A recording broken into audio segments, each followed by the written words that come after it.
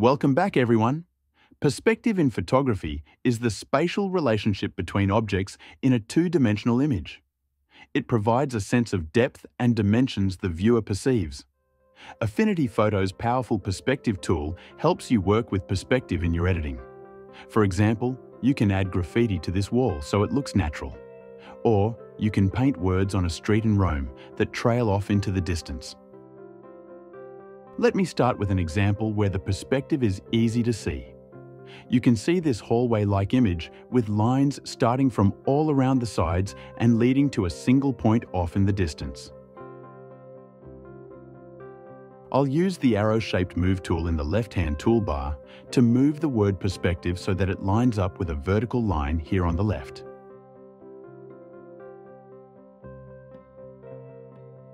Then, I'll click on the grid-shaped perspective tool on the left toolbar. You see the nodes on the text selection turn from little circles to little squares at the corners. Watch as I click and drag the corner nodes so that the word lines up with the grid along the wall here.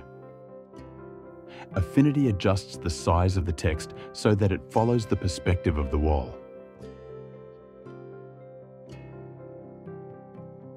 Once you have it where you want it, click Apply to bake in the changes.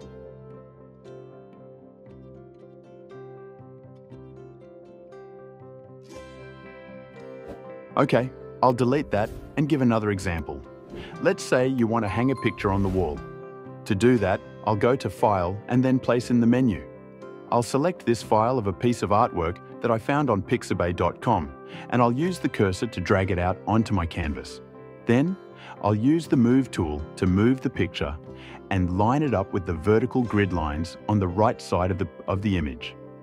I'll click on the Perspective tool again, and I'll drag the little corner nodes so that the image follows the perspective lines on the wall. You can see right away how, even though the image has become very distorted, it looks natural to our eyes.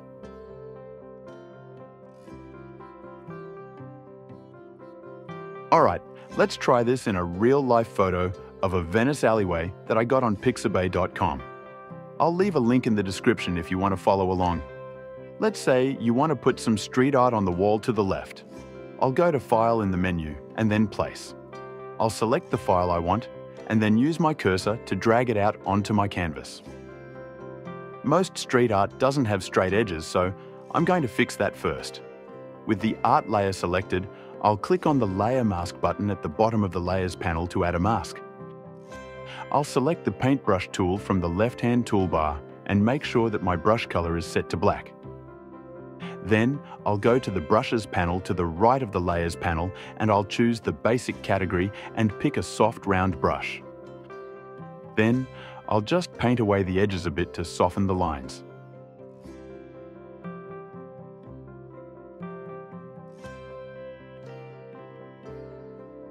Okay, now there are no grid lines in this image, but you can still see the perspective.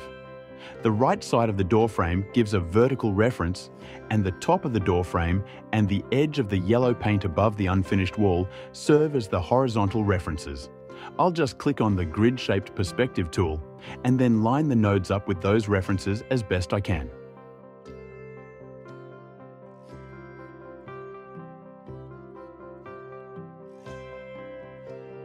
There, that looks pretty good. If you want, you can lower the opacity a bit to help blend this in by letting some of the yellow paint tone show through. Alright, one more example, and I think you'll have this mastered. I'll switch to a scene from Italy.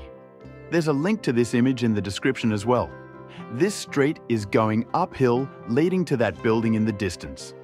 Let's say you want to paint the words Via Italia across the whole street. Well, the sidewalk and the lines on both sides of the street offer pretty good references to the perspective. So we'll just click on the perspective tool and stretch the bottom corner nodes out to the sides. Then we'll grab the top nodes and move them inwards a bit so that everything lines up with the reference points.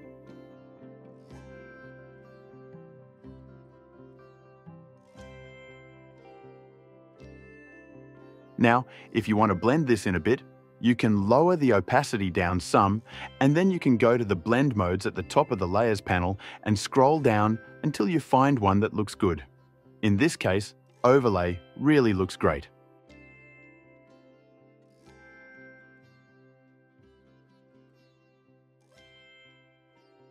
Alright, that's about it for today.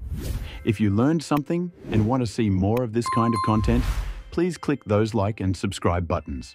And if you're feeling generous, this channel runs on caffeine. There's a link to buy me a cup of coffee in the descriptions. Not necessary, but certainly appreciated. Have a great day, everyone.